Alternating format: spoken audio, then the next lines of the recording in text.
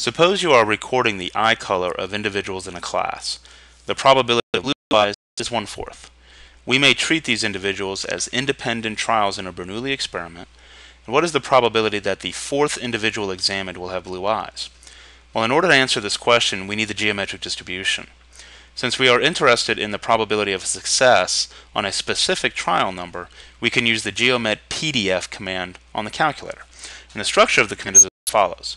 You have geomet PDF, then the probability of success, and then the trial number of the success. And th this is separated by a comma. So let's answer this question.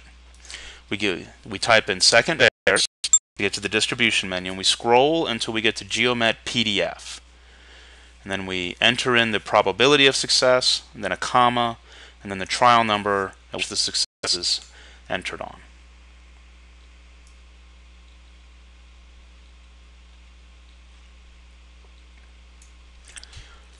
Here we see the probability of success occurring on the fourth trial is about 10.5%. Suppose we have a variant of this question.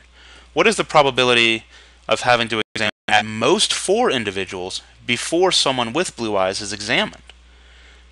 Well, in order to answer this question, we do need the geometric distribution. For the calculator, since we are trying to determine the probability of quote-unquote at most, we need the geomet CDF command. And the structure of this command is you have geomet CDF, the probability of success, and then the trial number of the first success.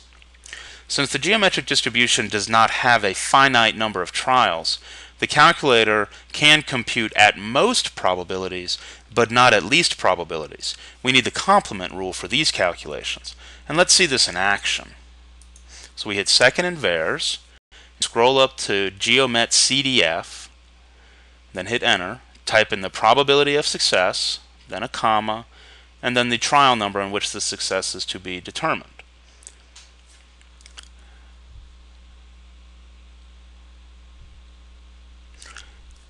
So here we see that the probability of at most four trials being used is about 68.3%.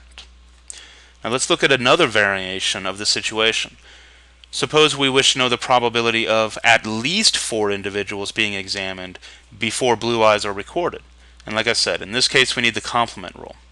So we go back under second in VARS, select Geomet CDF, enter in the probability of success, then comma, and then 3.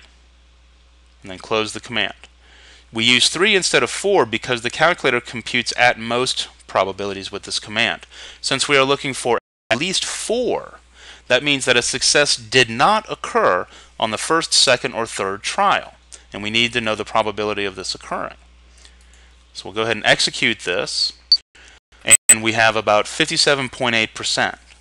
Now remember that this is the probability that we obtain a success by the third trial. Considering the complement here is what gives us the correct answer to our question. So we can say 1 minus second and negative key. That brings up the previous answer. And here we have the correct answer for our, our question. The probability of running at least four trials before we see a success is about 42%. Now let's consider the following question. What is the probability of obtaining, obtaining a success on the second or fourth trial? So we hit second in VARS, and we scroll until we get back to Geomet PDF. Enter in the probability of success, and this time we're going to enter in a list of possible trial numbers, 2 comma 4. And we'll execute this. And here we can see the values of getting a success on the second trial or on the fourth trial.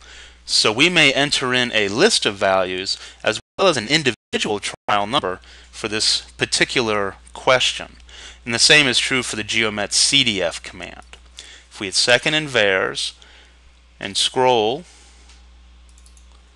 until we get to geomet CDF, again we can answer, we can enter in the probability of success and then we can enter in the list of trial numbers we wish to see these cumulative successes for. And here we have a list of values. So this is how you can use the Geomet PDF and the Geomet CDF commands on the calculator.